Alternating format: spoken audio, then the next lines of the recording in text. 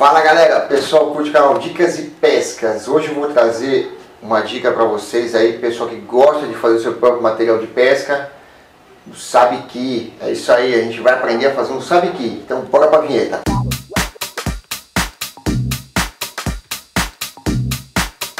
Bom galera, a gente vai usar alguns materiais básicos que a gente tem aqui para montar o nosso sabiqui, tá? Eu vou usar aqui um anzol, esse que é tipo pernada de, é uma pernada mais longa aqui, tá? É um marocego. E para ficar mais, ter um pouco mais de visualização, isso aqui é um barra zero, tá? Eu vou usar, vou fazer quatro, quatro tipos, né? Não, quatro tipos não, quatro é, sabiquis, ok? Vou utilizar aí também esses papéis cromados aí, facilmente achados aí em pacotes de bolacha, café. Eu estou usando aqui um de papel de presente, tá? Não tem nenhum problema, ok? Vamos precisar também de linha Aí você pode usar, dependendo do tamanho, mas de 0 a 20, né, para anzóis menores, né, ou até mais finos, 15 e tal. E dependendo do tamanho ali, eu estou usando, vou usar esse aqui que é de 0,25, ok? Porque é um anzol um pouco maior, para a gente ter um pouquinho mais de visualização. De preferência, tá gente, o transparente, ok? Para ficar mais visível. Uma tesourinha e também esmalte de unha vermelho, tá? Tem que ser o vermelho ou rosa, tá? Preferência o vermelho, tá ok? E o alicate, nosso amigo alicate e também o alicatinho para poder fazer os cortes, ok? Então, vamos para a montagem. Bom, galera, tá aqui o meu papel, tá? Você vai tirar um pedaço dele aqui, ó, tirei um pedacinho dele aqui, mais ou menos para vocês terem uma ideia, ok? A primeira etapa é o que? Você pega o seu anzol e vê mais ou menos o tamanho que ele tem para você cortar, mais ou menos o tamanho que ele tem para você poder cortar aqui, tá? Ok? Para não ficar muito grande, certo? Então vamos lá, eu já vi que ele mais ou menos por aqui, esse tamanho aqui, ok? Então vou cortar uma parte desse tamanho.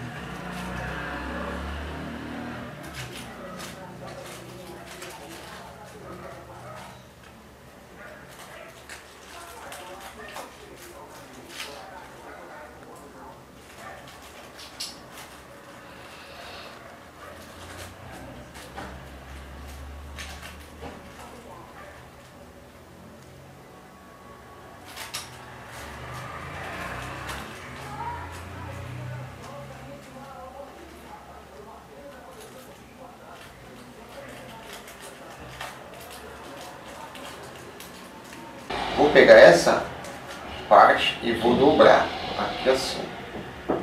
E vou fazer um vinco. Ok? Assim. Vão ficar as partes iguais. O que, que eu vou fazer aqui? Vou fazer uns cortes em V. Aqui. E o outro, como eu sei que já está grande, vou dar um corte mais para lá.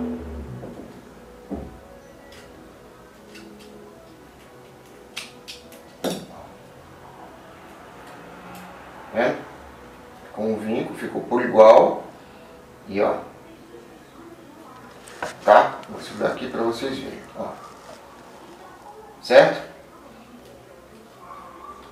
Nesse, nessa parte maior que eu fiz aqui, ó, eu já vou fazer um, um tipo uma, um cortezinho mais dobrado, mais curvado.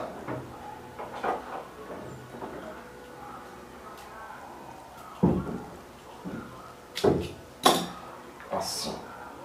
Ó. O que, que eu vou fazer aqui, galera? Eu vou pegar todos e vou fazer a mesma coisa. Fazendo o que? Seguindo a mesma linha. Eu vou dobrar, certo? Aqui assim, ó. E vou usar o meu primeiro como gabarito, ok? Então eu vou cortar isso aqui e a gente já volta aí. Tendo feito as suas quatro peças, tá? Iguaizinhas, vou separar três aqui você vai fazer o seguinte, na parte que você fez a curva menor, né, no caso, eu quero que você faça um cortezinho em cada uma delas assim, ó. pouca coisa, tá galera? Só para ajudar na, na amarração, ok? Fiz um cortezinho bem pequeno aqui, ó. Vou botar aí, tá? Só isso, nas quatro peças, ok? Seguindo, a outra parte é o seguinte. Eu quero que vocês peguem mais ou menos aí uns palmo, palmo e meio de linha. Corte as quatro peças de linha para você, tá? Iguais, sempre iguais. Então, vamos cortar a linha. Deixar já pronta, né? Já meço.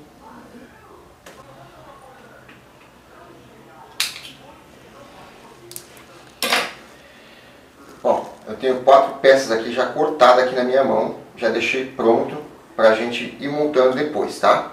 Então eu vou separar uma já que eu vou usar, ok?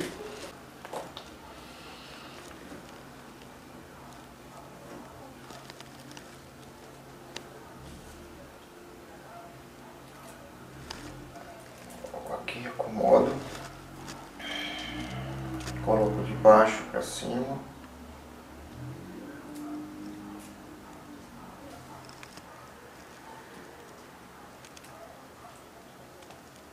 aqui, ó. aqui assim. Pego de baixo. Pego de baixo. Do quatro, cinco.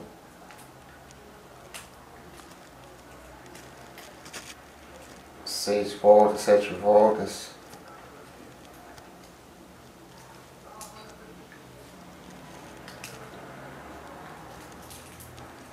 encaixo no olhar do anzol.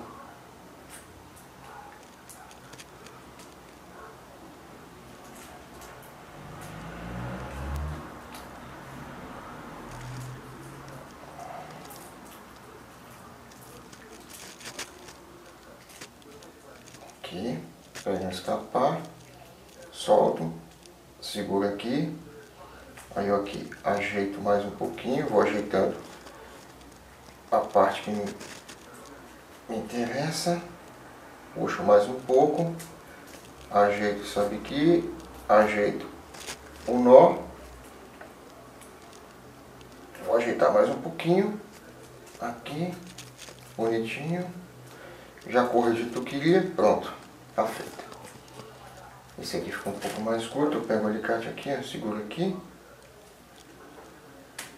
Pronto. Acochada. Feito. Tá amarrado. E é isso aí, galera. Tá feito. Agora pega aqui, corta o excesso e ele tá pronto. Ó. Só dou uma ajeitadinha. Pego aqui minha esmalte de unha.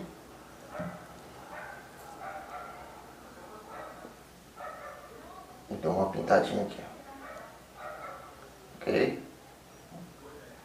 Depois a gente, depois de pronto, a gente pode até dar outro retoque, tá? Vai ficar assim. Ok? Faça os quatro do mesmo jeito. Ou cinco, depende de quanto vocês estão fazendo. Bom, galera, a gente vai pegar um palmo agora, pegar, vamos fazer o nosso chicote, vai ser o quê? Pegar a linha, né? Vamos deixar mais ou menos dois palmos, três palmos de diferença aí, para começar. E a gente vai fazer tipo um nó cego, tá? Só que ele vai ter quatro voltas. Então você vai fazer o círculo e vai colocar quatro voltas aqui. Ó. Uma, duas, três, foi três e quatro. Tá? Mais uma para garantir, vai. Cinco voltas que seja. Fez isso, você vai apertar. Aperta, aperta, aperta, aperta e vai virar um 8. Ó. Opa, parou aqui. Virou um 8, legal. O que, que você vai fazer? Você vai pegar um dos seus sabiquis, aqui ó, tá? Vai pegar a pernada dele aqui ó, e vai passar entre esses oitos aqui que você fez, tá? Então, pega ele aqui ó, coloca esse aqui tá saindo por baixo, então eu vou passar aqui junto para sair igual. E esse aqui está saindo aqui, ó. Vou passar a mesma coisa. Vou passar por trás dele aqui, ó. Certo? E vou puxar. Tá? Ó, tá aqui, tá? Então, vou pegar ele aqui em paralelo aqui, ó. Certo? Vou fazer a mesma coisa. Dá quatro voltas. Uma, duas, três,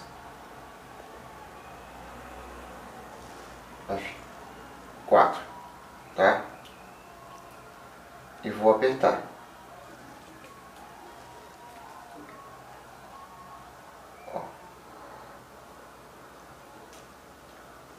Ele vai se unir. É um nó de emenda, tá? Certo?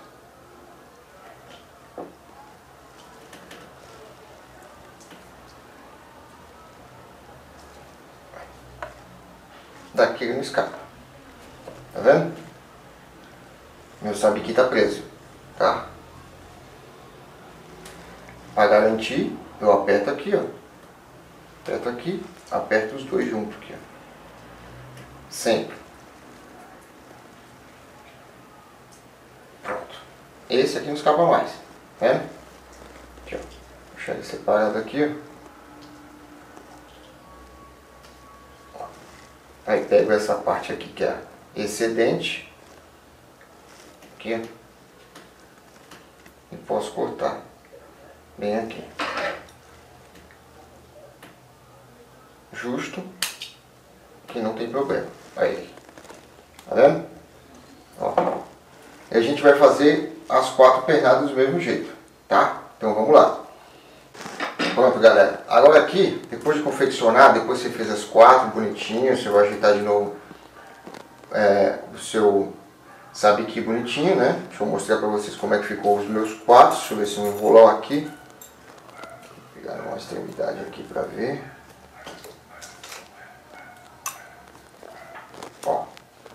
Tá um, mais um pouquinho além. O segundo, terceiro, e 4, tá? Tá aqui. Bom, logo que você terminar, já tiver na cabeça aqui do, do seu, na cabeça aqui do seu sabe que, tá? O que, que você faz? O excesso da linha você corta, certo? Dá uma distância boa aí, tá? Gente, só lembrando, eu estou fazendo esse grande aqui, seria até um médio, não é bem grande, porque para vocês terem uma ideia de visualização, porque para gravar e fazer ao mesmo tempo dá muito trabalho, tá? Eu me perco bastante aqui nos nós e tal. Então é por isso que a gente dá, até dá uma editada aí e tal. Parece esses cortes, parece que a gente está errando, mas na realidade a gente está tentando acertar o nó, então tem que dar pausa para ter certeza do que está fazendo, entendeu? Vocês podem partir desse para um menor, tá? Ou até maior, depende da pescaria que vocês vão fazer, tá? Então, bom, no começo aqui, quando você termina o último, o último sabiqui, que você começa de baixo para cima, você faz isso aqui, ó. Pega, une as duas pontas, tá? Já mostrei isso aqui também já em outros vídeos. Dá uma volta, certo? Coloca-se por dentro.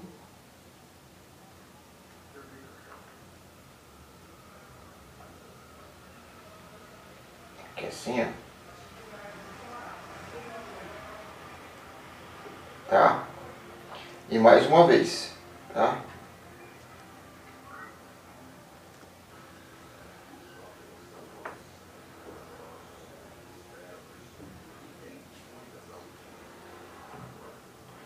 Ok? Passou, vamos aí. Passou, bonitinho. A coxa, pronto. Aqui você tira, se quiser, um, um pouco do excesso, tá? O que, que vai na cabeça do, do, disso aqui que você fez? Você vai colocar aqui o seu girador, que você vai unir lá com o snap na sua linha principal. Aqui, ó, passa por aqui, facilita bastante para troca. Tá? Aqui assim, ou se preferir, amarra direto, mas eu prefiro fazer assim. Tá? No começo vai o girador a última ponta, no final de tudo, você vai fazer a mesma coisa, tá? Aqui, ó, final de tudo você vai fazer a mesma coisa. O que, que é? para você colocar uma chumbadinha para fazer o peso, tá? Puxa bem aqui assim, dá uma volta, passa por dentro, segundo já emenda direto.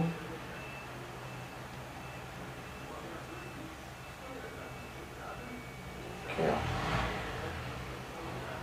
Prontíssimo. É só segurar e puxar. Aí. Corta o excesso. Nada além disso. Aí você vai ver tamanho da chumbada que você vai usar na hora, né?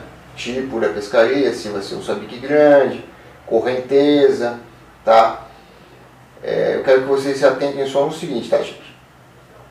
Toda vez que vocês forem usar alguma chumbada, atentem-se aos limites da vara. Está escrito no teu blank, tá? Não vai me colocar um, uma chumbada muito pesada para um blank que não vai aguentar. Então tá aí. Sabe que está montado, ok? Então esta é a dica de hoje, galera. Eu espero que tenha ajudado você aí, tá? A fazer o seu próprio sabiqui aí, ó. ó o meu tá pronto aqui. Depois eu vou dar mais uma, umas demão aqui, ó para ficar bem vivo, ficar bem bonitinho. Vou colocar aqui, para tirar uma fotografia depois, ó. Quatro sabiquis.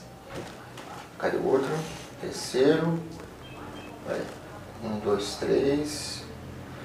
E meu último aqui, o quarto. Fiz com quatro sabiquis. Usando materiais básicos, galera. Valeu! Tchau, tchau!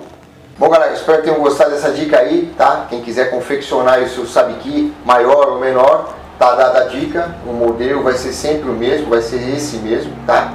Então é isso aí galera. Não se esqueça de se inscrever no canal, é, dá um like aí para compartilhar com os nossos amigos pescadores aí, divulgar nossa, nossa, nosso trabalho aí, entre esse vídeo e outros, né? E também curta a nossa página no Facebook, dá uma olhadinha no nosso blog rivaldoribas.blogspot.com.br e é isso aí, galera. Um grande abraço. Tchau, tchau.